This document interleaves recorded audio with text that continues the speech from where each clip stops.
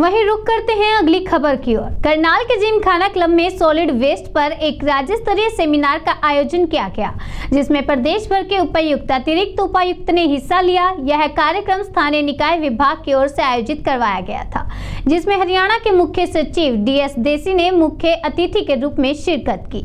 इस अवसर पर उन्होंने अपने संबोधन में कहा कि सरकार द्वारा सॉलिड वेस्ट पर विशेष ध्यान दिया जा रहा है, जिसके तहत आज पूरे प्रदेश भर के जिला प्रशासनिक अधिकारी व संबंधित विभाग के अधिकारियों ने शामिल होकर सेमिनार में अपने अपने विचार रखे और सुझाव दिए। तो अभी तो बीच में ब्रेक हुआ है अभी कितने दो घंटों में संपन्न होगी? जी सर आप ये बता दें कि आज आज का मुख्य उद्देश्य क्या था? मीटिंग का उद्देश्य बताएँगे principal secretary as well local bodies ji.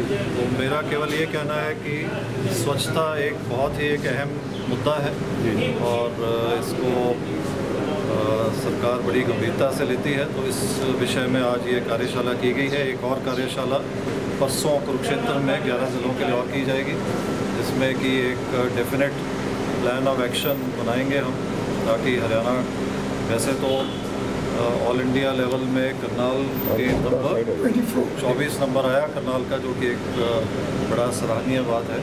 लेकिन हमारी कोशिश है कि आने वाले समय में हम अपनी परफॉर्मेंस को और भी बेहतर सर इतना होने के बावजूद भी कचरा निस्तारण नहीं बाकी बताएँगे